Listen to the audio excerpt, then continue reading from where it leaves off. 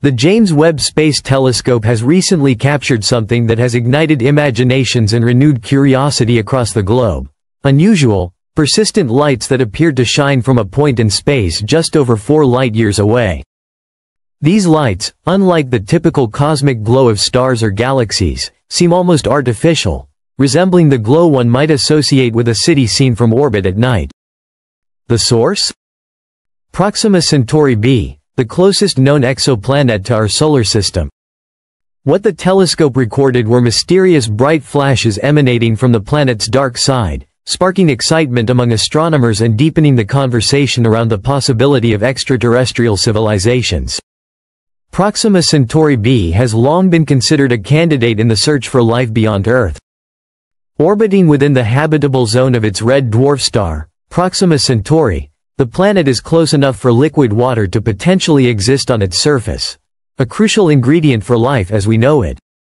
But these recent observations have added an entirely new layer to our understanding.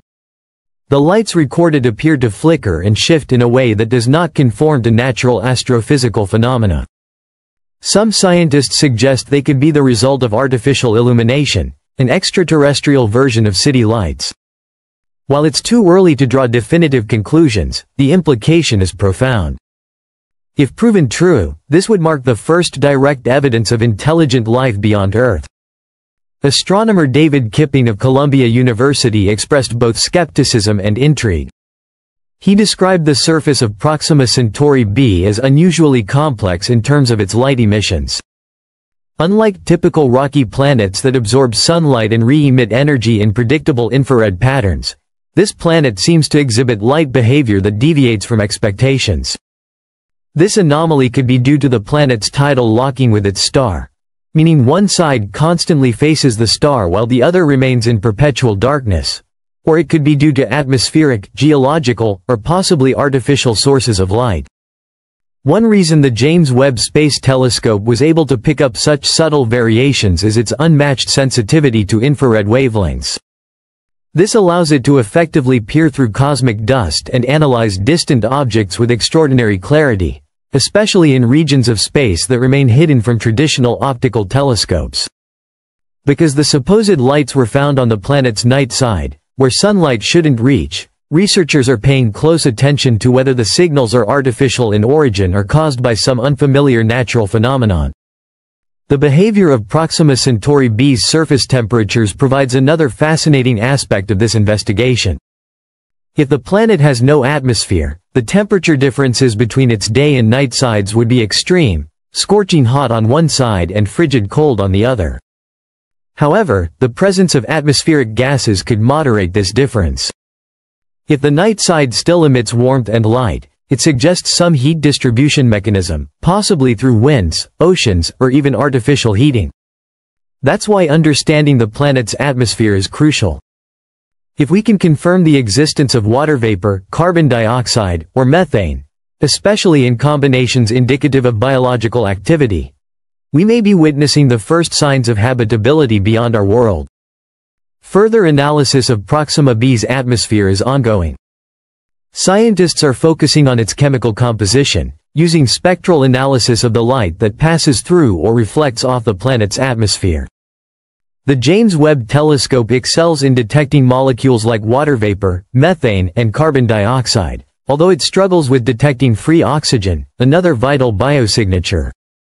Nonetheless, if ozone is detected, an indirect indicator of oxygen, it could further suggest a stable and life-supporting environment.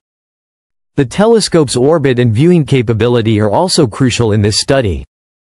Proxima b completes an orbit around its star every 11.2 Earth days, allowing the James Webb Space Telescope to observe its atmospheric cycles frequently. These repeated observations offer a more complete picture of its climate and possible surface conditions. If the lights persist or change over time in ways that suggest intentional design, such as seasonal patterns or grid-like distribution, the case for intelligent life strengthens. Even with all of this progress, however, there are still limitations. The James Webb Telescope, while extraordinarily advanced, can only observe a finite number of nearby exoplanets in this level of detail. That's why astronomers are eagerly awaiting the arrival of even more powerful observatories, such as the Extremely Large Telescope, ELT, expected to begin operations in 2028. The ELT, being ground-based and equipped with advanced adaptive optics, will offer even greater resolution in studying exoplanet atmospheres and surface characteristics. Scientists hope that with it, they can conduct deeper and more precise investigations into planets like Proxima Centauri b. In addition to ground-based telescopes, the future of space observation will likely depend on revolutionary technologies designed to block out starlight and isolate the light from exoplanets. One such innovation is the coronagraph, a device that sits inside a telescope and blocks out the overwhelming light of a star, enabling the much dimmer light of nearby planets to be seen. Another concept, the starshade, involves a spacecraft shaped like a flower petal that flies tens of thousands of kilometers ahead of a telescope, blocking starlight before it even enters the lens.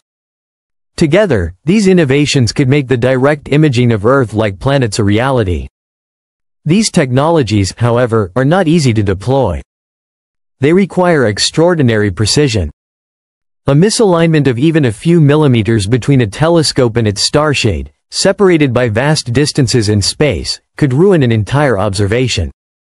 Moreover, the demands of space, temperature extremes, radiation, and limited power, mean these systems must be both rugged and efficient. Yet despite these challenges, the reward is immense. Successfully imaging an exoplanet in detail, analyzing its light spectrum, and identifying biosignatures like methane, ozone or water vapor could provide the first real evidence that we are not alone.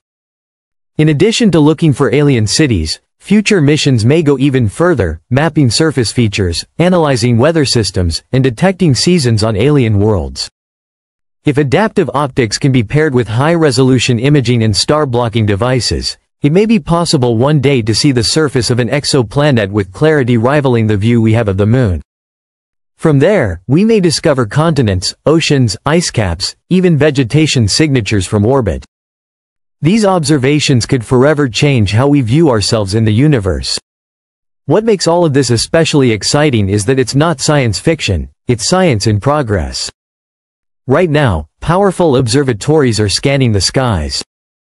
Teams of scientists are studying every flicker of light, every spectral anomaly, every temperature shift in hopes of finding something that will alter our understanding of reality.